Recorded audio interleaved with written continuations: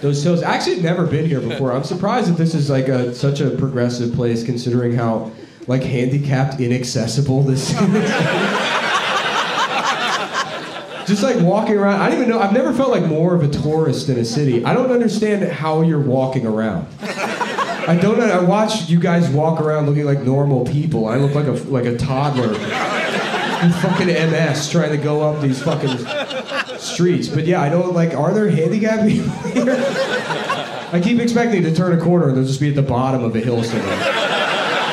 Like 700 of them. They're like, yeah, this is where we live.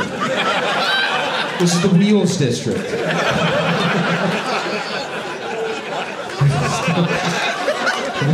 we're at the bottom. This is where we live. We're at the bottom.